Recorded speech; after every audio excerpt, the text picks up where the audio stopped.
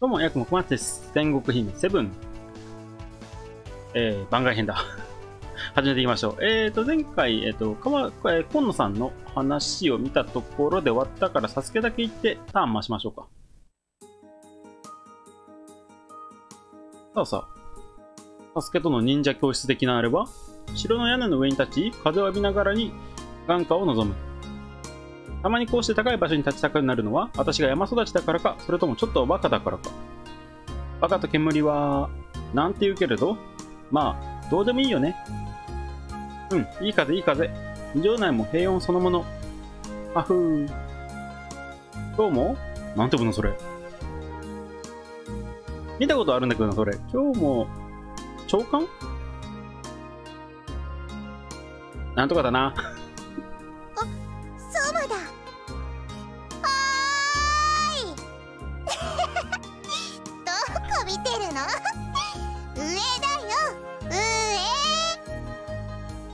5の方向から私の声が降り注いできたことで地上を歩いていた相馬はキョロキョロと頭を振っていた。ちょっと可愛いかも。うわまたそんなところに。危ないだろうがさっさと降りろ。私は健脚な忍びだよ。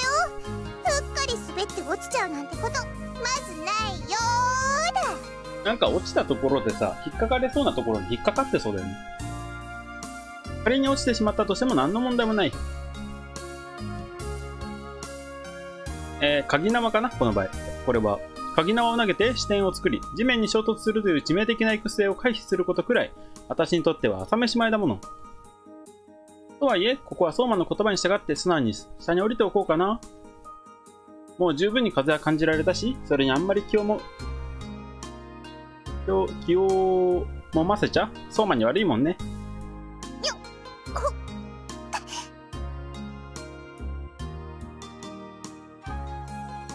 わわああ。よっちょっと。あれ？ソマ？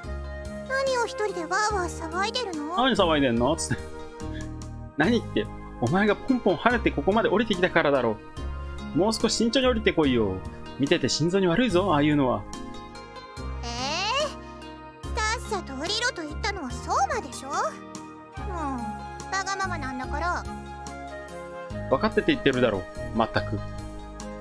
助けの身のこなしが達者なのは重々承、えー、重々知っているが、それでも無駄に危ない真似をする必要はないだろう。ついあれだね、あの、先読みしちゃうんだ、俺。あの、会話を。ちゃんと読んでる気ないんだよ、俺多分。あの、今、重々承知してるが、みたいな。そういうやって読もうとしたんだよ、勝手に。ほら、猿も木から落ちるって言うんだし、そもそも、忍びが白昼堂々、屋根の上で仁王立ちってどうなんだ？このお家にはあの猿飛びサスケがいますよって宣伝することで他国の忍びに潜入を躊躇させる的な効果がある。まあわからんでもない。ようなないような。うん。やっぱりないかな。なんか今怪しかったな動きが。ああ大丈夫かな、うん、ないのかよ私から見えるような経路で忍び込もうとする人なんてまずいないよ。深夜ならまだしも。まあでも下から見えてりゃあれだよね。私がにっこりそう告げれば相馬も軽く肩をすくめて確かにと笑ってくれた。相馬は軍師さんでいろいろあじゃあ日々いろんなお仕事を担っている。そして遠征先の本陣や軍基地の広間では様々な策をその頭の中で練り回して眼光の鋭さも増さ増やさせている。かな。でも決して気難しい頭でああ気難しい頭でっかちじゃない。むしろふ普段はただの気のいいお兄さんって感じ。多くの武将たちともそして忍びである私ともとっても良好な関係を築いてくれている。どれだけ流し入れていようと私は忍びただの忍び。戦場で敵を打ち倒して誉れを得る武将とは明らかに異なる存在。それは武士だって省略を担うことはあるし、時には悪辣な策を用いることだってあるけど、やっぱり違う。忍びとは、なんていうのあれ？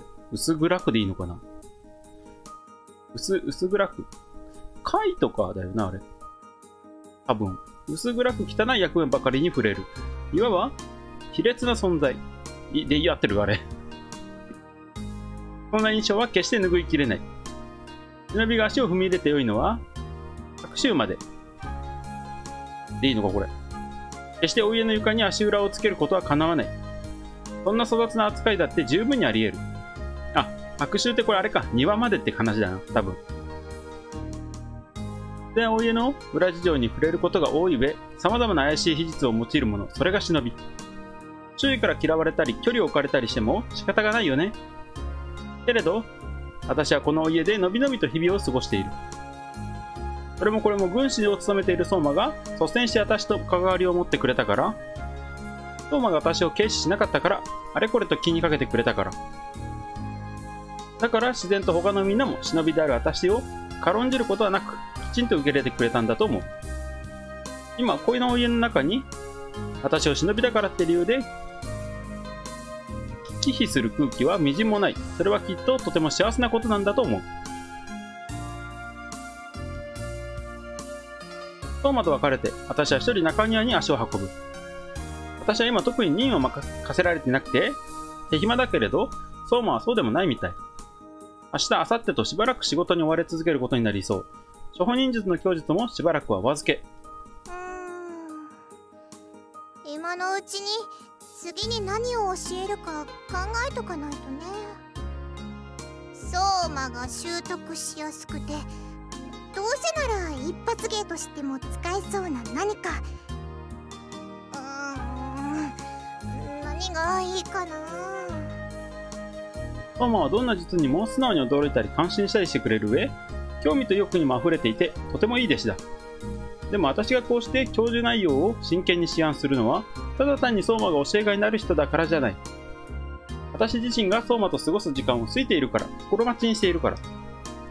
二人で過ごした時を少しでもより良いものにしたいから。そして少しでも相馬の役地に立ちたいから。私の持つ知識や術を相馬の力に変えてあげたいから。だから、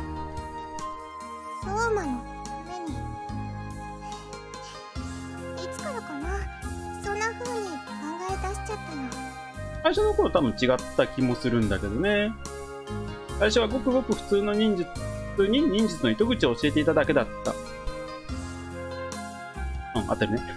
決して特別な感情なんてなかった。私のことを軽視せず、そして私の得意とすることに関心を持ってくれていたのは嬉しかった。けれど、だからって、相馬のためにだなんて考えてはいなかった。相馬が楽しんだり喜んだりしてくれるとそれだけで私まで嬉しくなっちゃったのは。さらに昨今は相馬のことを考えているだけで気分が上向いてしまう。相馬の姿,、えー、相馬の姿を見つめる。相馬の姿を見つけるだけで心が弾んでしまう。声をかけて振り向いてもらえれば笑みを浮かべてしまう。さっきだって声をかける人なんてなかったのに私はウキウキとした声を投げかけちゃったばっかり。投げかけちゃったばかりそして相馬と別れた今は気分が沈んですらいる。あくまでほんのちょっぴりでしかないとはいえ。これってやっぱりあれかな？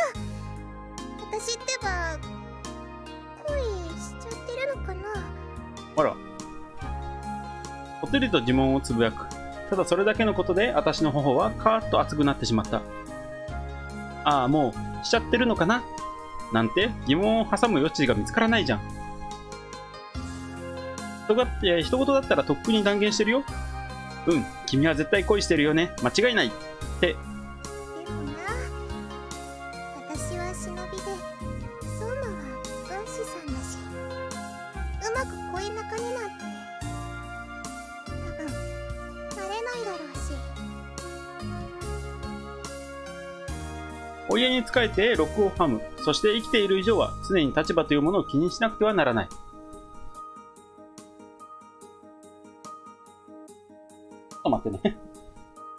メールが。軍師と忍びが、えー、なんて読むのあれ？えー、おもむろでは？かな？よからぬ事態につながるのでは？で、周りからあらぬ疑いをかけられるかもしれない。おもむろではだじゃないな、今の。後ろの文を考えると違うな。忍びが何とかでは、よからぬ事態につながるのでは？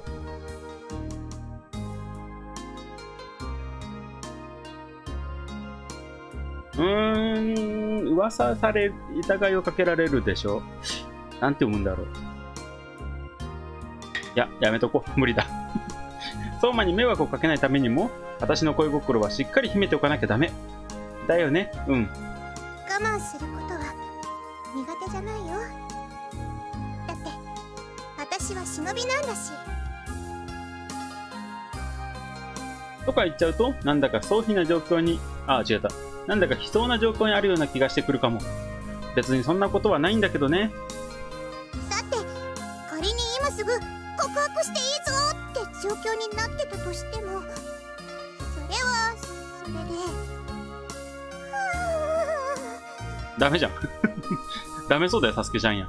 躊躇なく恋幕を告げられるかというと、そんなことは全然ないもんね。無理無理。だって恥ずかしいし。もしかすると関係がぎし、えーギクチャク、えーギクシャクしちゃうかもしれないし、だったら今の状態を維持した方がずっといいよ。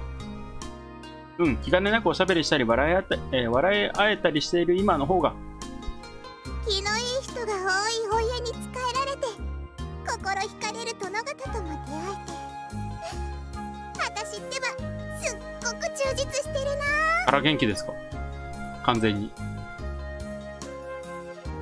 今日は私ののほほんとしたつぶやきがよく似合う空模様。私は眩しいお天道様の下で、一人静かに昼下がりを過ごした。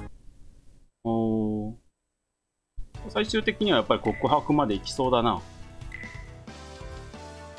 そう。ちょっとね、あの徳川軍の動きに合わせてうちの防衛ラインをね、下げてもいいなと思ってんだよな。でもまだか。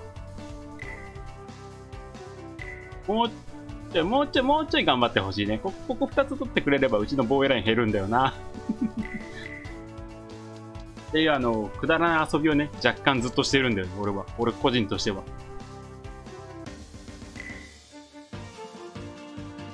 さあ、徳川軍頑張れ頑張れ。徳川軍が、お、すんげえ攻めてる。今、徳川軍5個ぐらい攻めた、一気に。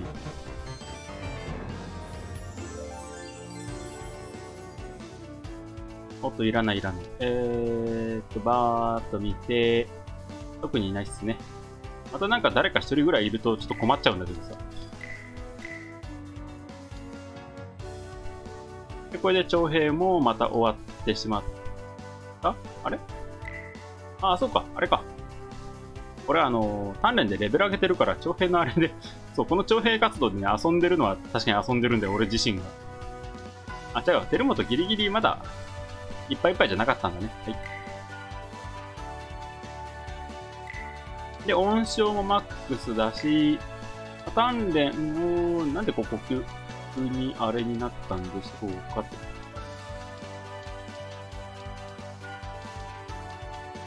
トントントン。いい。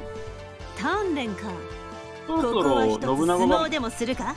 あ、惜しいね。感想間近。えー、終了。で、おっと、そうだ。どんなもんですかね？イヤさんや。イヤさん取られてますね、城。空いてる、空いてたのかな、ここの城。いや、普通に兵力で負けた可能性もあるな、これは。一部な、長兄とかな、あの、兵力持ったやつ俺が捨てちゃ捨てちゃったからな。モブだからっつって。この辺をな、雇ってるからな、山内上杉かなんかが。うちには関係ないんだけどさ。うちはね、関係ないんだよね。危ないかどうかで言われりゃ。さあさあ、行きましょう。道直殿の調子はどうだ？相馬殿ご覧の通り仕事は順調に進んでますよそうか、実は体調はどうかと尋ねたつもりだったんだが、お前毎回ややこしいんだよ、相馬。ご安心ください私は今日も元気ですお前毎回毎回逆なんだよ、聞いてるのが。どっちかに統一しろ、相馬。道直殿はふわりと日の光に溶けてしまいそうな笑みを浮かべる。この笑顔で道直殿が元気ですと言っている限りは、どうやら大丈夫らしいとようやく俺も思えるようになってきた。というか、あの、この物証に会うでやってて、あの、道直殿がすごく可愛いことに分か気づいてしまった俺がいるんだけど、多分今一番好きかな。自分の体が弱く、先は、先は長くないだろうということを、誰よりも自覚しているからこそ、道直殿は日々を懸命に生きている。そうして常に気を張っているからこそ体調を維持できているだろう。一生懸命なのはいいけど、あんまり無理はするなよ。もう相馬殿は心配性ですね私は元気だって言ってるのにと言っている矢先に道直殿の体がふらりと揺れた。慌てて手を伸ばし、その体を支える。ありがとうございます道直殿、あまり無理をすると、布団に縛り付けるぞ。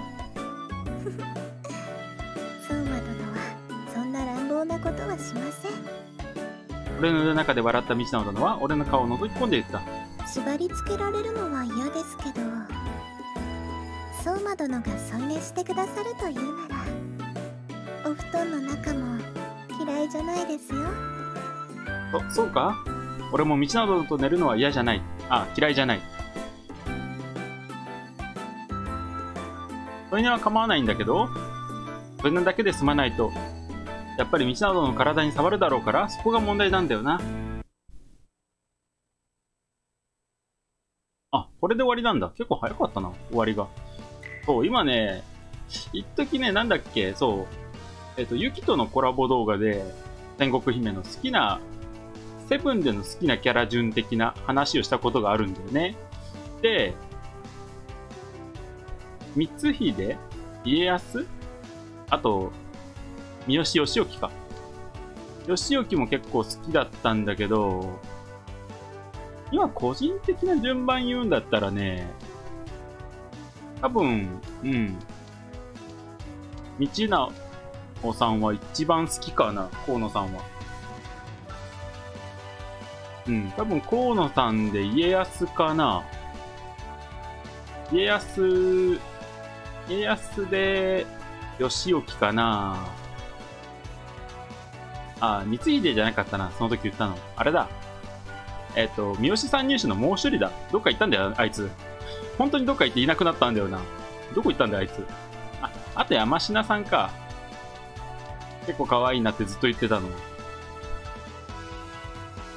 あー、難しいね。長宗壁も結構可愛いなと思ってたけど、山科さん今2番かな。個人的には、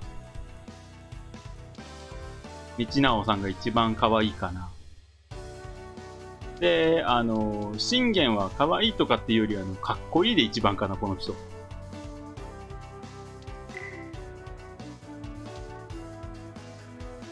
あの、まあ、これもいいんだけど、あっちがいいよな。あの、ダメージエフェクトの方が。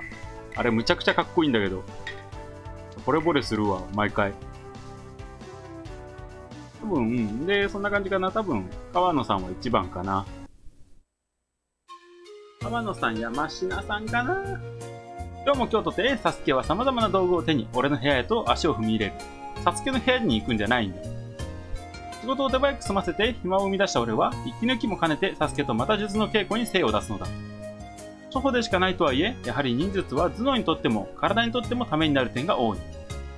相手の隙をつくことを念頭に置いた技術をいろいろと学んでおけば、あ、違った。いろいろと学んだおかげで、戦術を練る際に奇抜な案が思い浮かぶことも多くなってきた。まあ、それが実際に使い物になるかどうかは、また別問題だが、思考に幅ができたことは喜ぶべきだろう。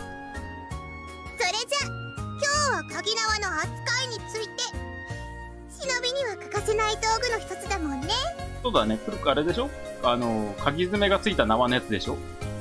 サスケは持ち寄った道具の中からまとめられた縄を掴み取る。他にも吹き荒らしき細い管や、筒かな？筒や、薬が詰まっていそうな小さな器などが座卓の上に所狭しと置かれている。もしも時間が余るようならば、あれらについても解説してもらえるのだろう。まだまだ未知が溢れていると思い知らされ、ワクワクしてくる。童心も、ここはかとなく刺激されるし。まあ時には普通の兵たちだって使うから用途については今更説明なんていらないだろうけどめったにでも使わないよね。あの、甲状腺かな？まあ、白攻めの時に投げるかもしんないけど、白攻めって言うとさ、あの、なんか、はしご的なやつ、あの、簡易的な。あんなを立てかけに行ったりとかっていうのが印象的かな、俺個人としてはだけど。でも、鍵縄かけて、あの、侵入するっていうのは悪くない戦術の一つだよね。上がってる最中にやられそうだけどね。崖やら谷を移動するときとか、工場の際に壁を乗り越えるときとかに、その鍵を引っ掛けて使うわけだな。うんあとは縄なんだから敵の捕獲とか止血とかにも使えるねあ、止血か。普通の使い方やら応用法やらを部屋の中で実演するわけにもいかないから5歳の技を教えるねおう。あ、いつものことだな。このままサスケから教授され続ければ、俺も相当少ない日に、一発の法科師を名乗ることができそうだ。あの、戸沢白雲祭から忍術の費用を、費用を教わった猿飛サスケに指示して腕を磨いた男。そんな触れ込みは人々の関心を引き寄せるだろう。さらに披露する曲芸や記術は、忍びの技を感じさせるものばかり。うん。食いっぱぐれることはそうそうなさそうだ。お前何する気だよ。せめてそこは、あの、軍師の方として名を広めようって、お前あの、春飛びサスケに指示をした結果、みたいな。いろんな奇抜の策を使ってくる軍師、さあの、天城相馬。強そうじゃん。あの、しかもあの、何？戦の時に、要は、何かしら使ってくるわけでしょ？あの、本陣に。詰め寄ったとしても。強いということを念頭に置いとけば、結構、やらしいんじゃないかな、存在的には。もちろん軍師を辞めて、お家からも出奔した挙句、大道芸で食っていくだなんて、えー、どしがたい選択をする気は全くないけれど。派手さなんてないしほんと単純な技なんだけどそれでも縄抜けの術は絶対軽視できないからしっかり覚えてねおう。真摯に言葉を紡ぐサスケに対し、俺も笑みを消して深々とうなずく。敵が縄抜けの術を用いていることに気づかず、捕獲しきったと安堵してしまえば、反撃で致命傷を受けかねない。また、もしも自身が縛られた際に術を行使することができたなら、窮地を脱出することも叶うかもしれない。あ、軍師である俺が何者かに縄で縛られるなんて、断じてあってはならない状況なわけだが。それからしばしの間、俺はサスケから縄を用いた技について、なんていうもの？せつせつと、キリキリと、キリキリとかな、と解かれた。縛られそうになった際にこっそりふと深く息を吸う。そして縛られた後に身の内の空気を全て吐き出してしまえばゆとりが生まれる。強い縄を巻かれた場合であっても関節を外すことにより四肢の可動範囲を広げてどうにか縄を解く。後者は今の俺では試すことすらできないが、前者は今すぐにでも行うことが可能だ。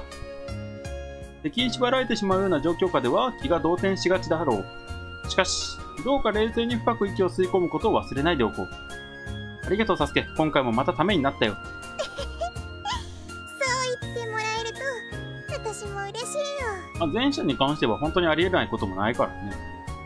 それじゃ本日の忍術指導はこの辺りでおしまいかなあなあ私が片付けるね地味にまとめておくコツがあるしえー、うーん、せっかくだから縄のまとめ方も。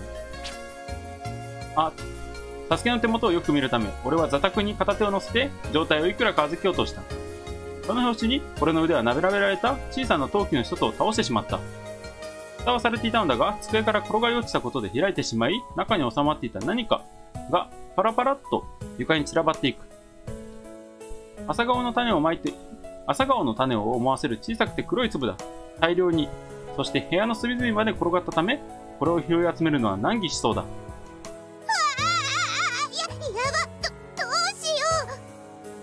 す、すまん、そんなに大切な品だったのか？あ、もしかして毒か？そんなに大事でもないし今すぐ被害が出るもんでもないんだけど。これはね敵の兵糧とかにこっそり仕掛けておく弾薬なのです。なんとしばらくすると虫が集まってくる効果があります。えー、弾薬を食い終えた虫たちはそのまま解散するだろうか？いやすぐそこに兵糧があるのだから散らずに残り続けるだろうそして思うがまま辺りの物資を貪り続けるはずだ。貴重な食料に大量の虫が集まったことで敵は戦戦費的にも心理的にも大きな打撃を受けることになるのだろう。でそんな薬が今俺の部屋に至るところに散らばっているわけか。一粒残らず回収しておかないと部屋の中に虫がゾワワワワって溢れ返っちゃう。なんてことに。ううわー別に俺は虫に対してことさら強い悲願を持ってはいない。一匹の芋虫が部屋の隅に張っていようと悲鳴を上げはしない。だが量が多いとなれば話は別だ。足の踏み場もないほど小さな虫たちがうごめいているコーヒー系を想像するとう身の毛がよだつ。急いで拾わないとな。うん畳に匂いが移っちゃうとそれだけで虫が寄ってきかねないし。俺たちはそれぞれ近場に転がっているものからかき集めていく。無償製薬が粉薬でなかったことは不幸中の幸いだろうか。仮に粉状であったならもう畳ごと変える必要があったかもしれない。下元にこぼれた分は集まったかあとは部屋の隅や机の下に転がった分をつぶやきながらに俺はサスケと視点を向ける。別に何ら対はなかった。あちらはどんな感じかなとごくごく自然に横を向いただけだった。思わぬ眼福が待っていた。いや床に散らばった細かなものを探すとなればサスケの体勢は理にかなったものであり全然おかしくはないんだけどどもないな。あれは？ほこりか。ついでにきれいにしとこっか。これはさすがにこれ以上引いたりはしない感じなんでしょうね。これ引いちゃうと多分ダメなんでアウトになるのかな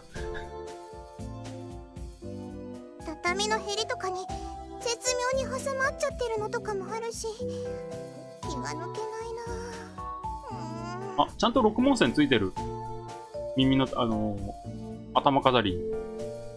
まあリボンにかあれは。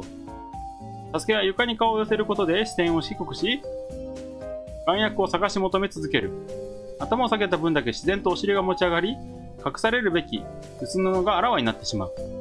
そんなに簡単に開いちゃう蓋じゃなかったはずなんだけど緩んじゃってたのかな。考えようによっては今ここでこぼれてよかったのかも。私の道具箱に虫が大集結とか。ちなみに皆さん虫はどうですかね？絶対嫌だし。俺は嫌いですよ。後でもう一回物品点検し直さなくちゃ。気をつけて扱わなきゃいけないものが多いもんね。うーんこの辺にはもうないかな。そうまそっちはどう？えサスケさんのお尻見てます相馬くんは。えあああうん。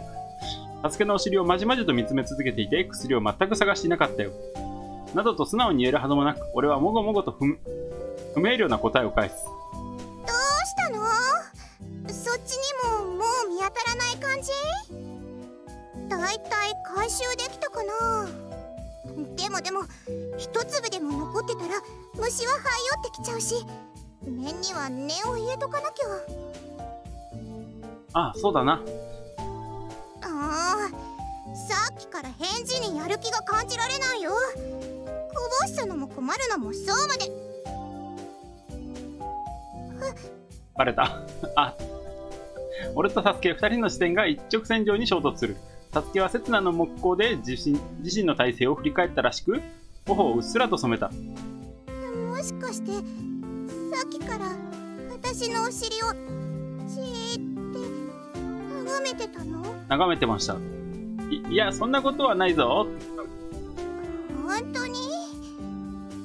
まあでも今は見てるのね。見ていないとは言えない。俺の視線はさっきから固定され続けている。サスケの気が、えー、気恥ずかしげな表情がそして突き上げられた丸いお尻が魅力的すぎてどうにも首を横に動かせない。まぶたも閉じられそうにない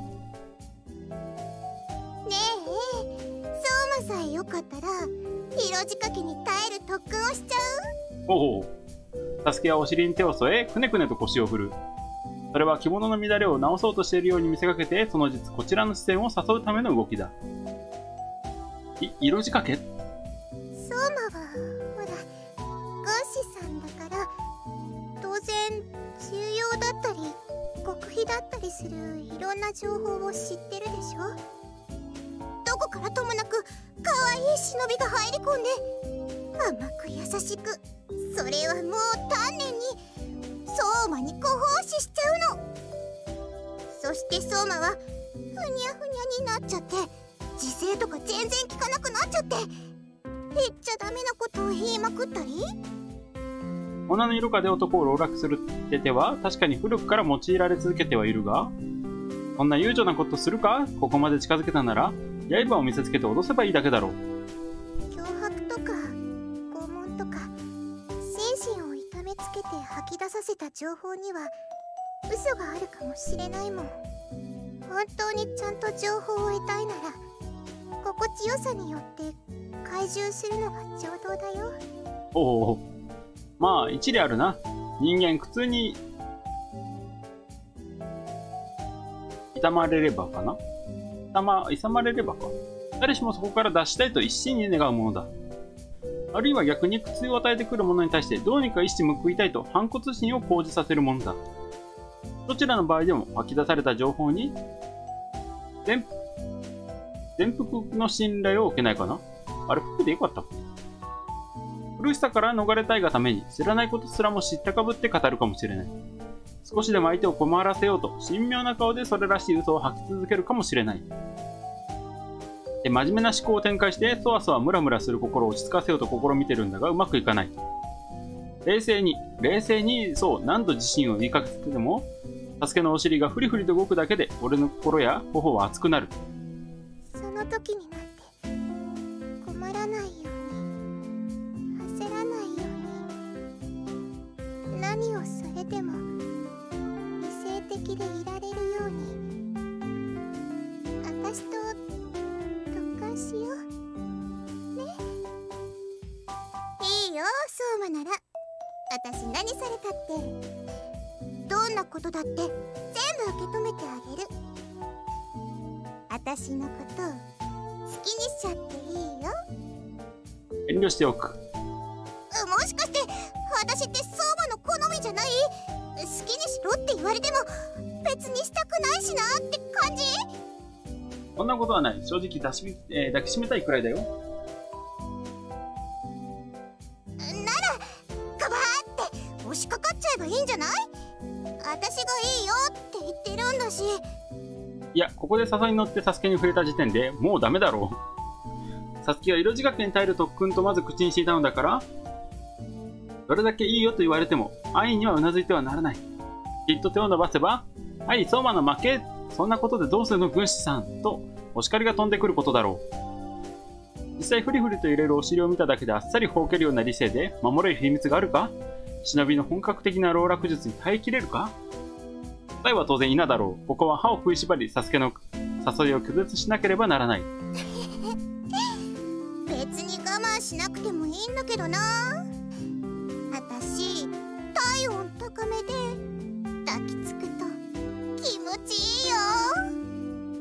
ぜひとも確かめてみたいが、今はまず薬の回収が先決だろ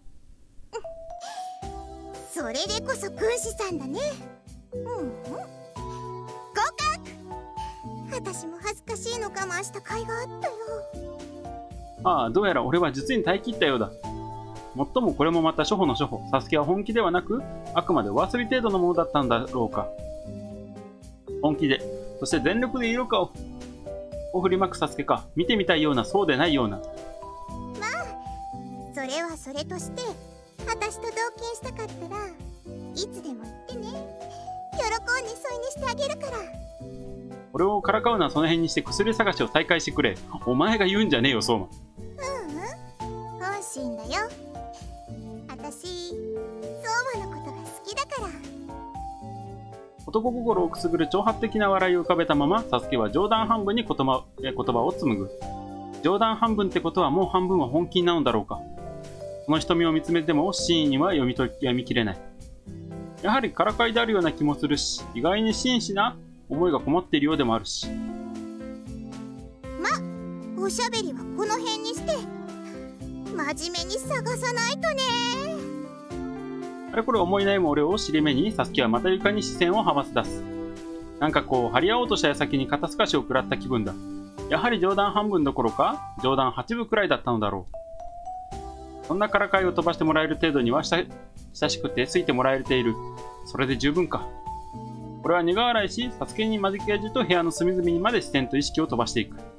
それから間もなくして小さな器は散ったはずの眼薬でいっぱいになったのだった。これで終わりか。へえ。じゃあ、これ終了しないでいいな。えまあ、今回は終わりなんですけども、えー次回から、えーっと、ここ二人行こうか。えーっとね、相良なんつったっけな。竹人だっけ？と、霧隠れ斎藤だね、こっちは。これ、霧隠れ斎蔵だっけ？筧十三だっけ？筧十三違うな。筧十三は間違えたんだ、確かね。こいつだっけ？真田準優士の筆頭って。準優士に確かリーダーが一人いるはずなんだよね、サスケじゃなくて。一番強いのはサスケで間違いなかったような気もするんだけど。あ、いいや。では、えー、ここまでのご視聴ありがとうございました。よかったらチャンネル登録などよろしくお願いいたします。いやー、今回なかなか良かったかな。まあでも、言うて、サスケがちょっと長かったぐらいかな。川野さん1回だけだし。そうだね、サスケがちょっと長かったんだね。2回とも。